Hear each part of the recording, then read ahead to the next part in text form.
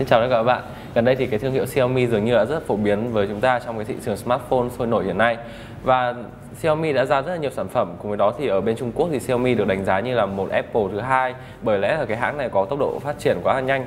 Và tuy nhiên thì nó cũng đã dính một số những cái nghi án về việc theo dõi người dùng như ở trên tay mình đây đang là chiếc Redmi Note đến từ Xiaomi thì gần đây một số thông tin ở trên mạng đã chứng minh cho thấy rằng là chiếc thiết bị này của chúng ta đang âm thầm theo dõi người sử dụng mà không được phép. À, bình thường như các cái thiết bị iOS hoặc là Android của chúng ta thì nó cũng có cái chế độ gửi những cái thông tin về hệ thống, về lỗi hệ thống để cho những cái nhà sản xuất có thể đưa ra bản vá trong những cái lần cập nhật phần mềm tiếp theo. Tuy nhiên thì những cái thông tin này thì phải được phép của người sử dụng thì mới được gửi về server của nhà sản xuất. Còn ở trên Redmi Note của Xiaomi thì nó lại tự động gửi về hoàn toàn âm thầm và không cho người sử dụng biết là nó đã gửi những cái thông tin sao lưu dữ liệu liên quan đến tin nhắn, kể cả những cái file media, hình ảnh hoặc video của bạn về máy chủ ở bên Trung Quốc thì Xiaomi đã tinh vi đến mức là nó đã tích hợp sâu vào trong hệ thống của Xiaomi Redmi Note đến mức mà mặc dù là một số những người sử dụng đã up room khác để mong muốn là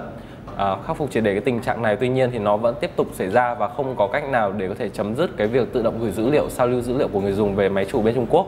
Và thêm vào đó thì Xiaomi cũng rất tinh vi khi mà cái ứng dụng mà tự động gửi những cái dữ liệu của người dùng về phía server máy chủ Trung Quốc nó chỉ hoạt động khi mà các bạn kết nối với Wi-Fi. Còn khi mà kết nối 3G để tránh người sử dụng có thể phát hiện ra về cái mức lưu lượng à, bất thường khi mà ứng dụng này tự gửi về server thì khi mà các bạn sử dụng 3G thì nó hoàn toàn là không hoạt động. Chỉ khi nào các bạn kết nối vào mạng Wi-Fi thì nó mới bắt đầu gửi về những cái dữ liệu mà nó sao lưu từ trước. Và mình cũng không biết là đây là một cái ý tốt của Xiaomi để giúp người dùng có thể sao lưu lại dữ liệu khi mà cần phục hồi lại hay là đây là một cái hành động theo dõi người dùng bất hợp pháp và để có thể chứng minh được cái việc mà Xiaomi tự động gửi về những cái dữ liệu một cách bất hợp pháp về server bên Trung Quốc, thì các bạn có thể cài cái phần mềm Network Connection. Phần mềm này thì hoàn toàn trên, miễn phí ở trên kho ứng dụng Google Play. Và khi mà vào ở cái mục quản lý những cái kết nối thì các bạn hoàn toàn có thể thấy là ở đây thì có một cái địa chỉ IP đó là 42.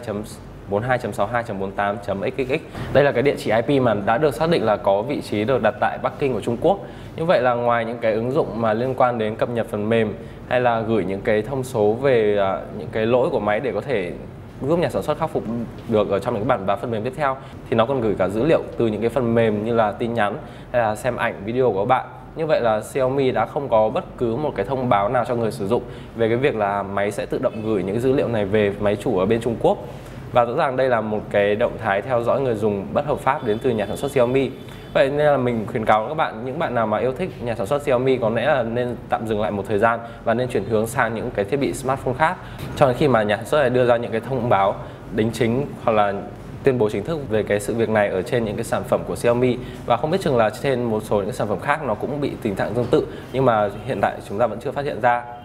và như vậy là mình đã gửi đến các bạn một số những cái thông tin liên quan đến cái nghi án về việc theo dõi người dùng bất hợp pháp của chiếc điện thoại Xiaomi Redmi Note. Các bạn nếu mà lo ngại về cái vấn đề bảo mật về thông tin của cá nhân thì mình khuyên là các bạn nên tạm ngưng sử dụng những cái thiết bị đến từ Xiaomi và chuyển sang một cái thiết bị khác. Cảm ơn các bạn đã theo dõi. Xin chào và hẹn gặp lại các bạn trong những video lần sau.